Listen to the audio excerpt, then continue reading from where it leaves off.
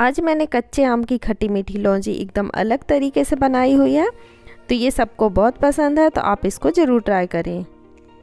इसके लिए मैंने दो मीडियम साइज़ के आम लिए हैं और इनके छिलके निकाल लिए हैं। छिलके निकाल के हमने इनको बड़े बड़े पीसेस में कट कर लिया है।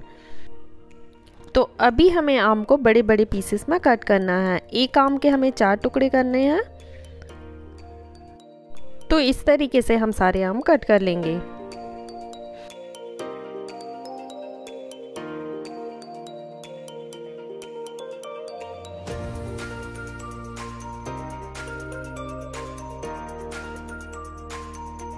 अब हमारे सारे आम कट हो गए हैं, अब हम इनको रोस्ट करेंगे। तो मैंने गैस की फ्लेम पर एक स्टैंड रख दिया है और उसके ऊपर हमने आम रख दिए हैं। और इनको हम थोड़ी देर रोस्ट करेंगे। हम इनको ज़्यादा रोस्ट नहीं करना, बस थोड़ा सा रोस्ट करना है, जिससे कि इसमें स्मोकी फ्लेवर आ जाए। अगर आप इस तरीके से आप लौंजी बनाएँगे तो आपकी लौंजी बहुत टेस्टी लगेगी और इसमें थोड़ा सा स्मोकी फ्लेवर भी आ जाएगा।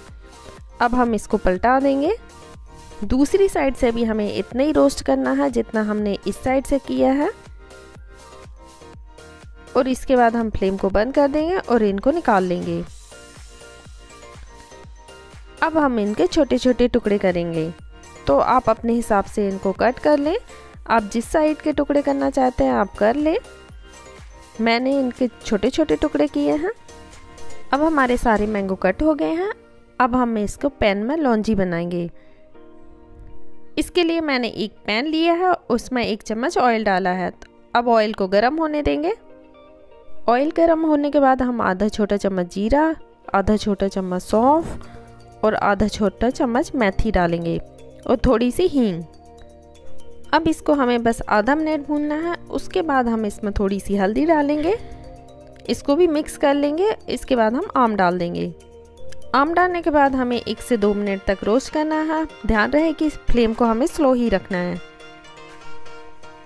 जब ये रोस्ट हो जाए तो उसके बाद हम इसमें आधा छोटे चम्मच लाल मिर्च पाउडर और नमक टेस्ट के अनुसार डालेंगे और इसको भी हम मिक्स कर लेंगे। जब ये अच्छे से मिक्स हो जाएगा, इसके बाद हम इसमें पानी डालेंगे। तो मैंने एक कप पानी डाला है और इसको मिक्स कर लेंगे। मिक्स करने के बाद हम इसको ढक के चार से पाँच मिनट तक पकने देंगे स्लो फ्लेम पर। अब चार से पाँच मिनट हो गए हैं। अब हम आम को चेक करेंगे। अगर हमारे आम सॉफ्ट हो गए हैं तो इसके बाद हम गुड़ डालेंगे। अगर आपके आम सॉफ्ट नहीं हुए तो इसके दो से तीन मिनट तक ढक के और रख दें। अब हम इसमें आधा कटोरी गुड़ डालेंगे। गुड़ डालने के बाद हम इसको मिक्स कर देंगे। मिक्स करने के बाद हम इसको दो से तीन मिनट तक और पकने देंगे स्लो फ्लेम पर। लौंजी को आप अपने हिसाब से गाढ़ा पतला रख सकते हैं। तो अभी दो से तीन मिनट और रखने के बाद ये एकदम गाढ़ी हो जाएगी। तो आप अपने हिसाब से इसको गाढ़ा पतला कर सकते हैं। तो दोस्तों, इस तरीके से आप लौंजी बनाएँगे तो आपकी लौंजी बहुत टेस्टी बनेगी और एकदम स्मोकी फ्लेवर में बनेगी। तो अब हम फ्लेम को बंद कर देंगे और लौंजी को हम ठंडा होने देंगे। ठंडा होने के बाद हम इसको सर्व करेंगे। तो अब हम इसको सर्व करेंगे।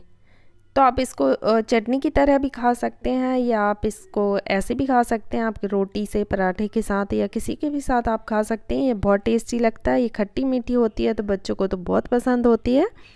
तो इसलिए आप इसको ज़रूर ट्राई करें और हमें कमेंट्स में बताएँ कि आपको ये रेसिपी कैसी लगी। Thank you.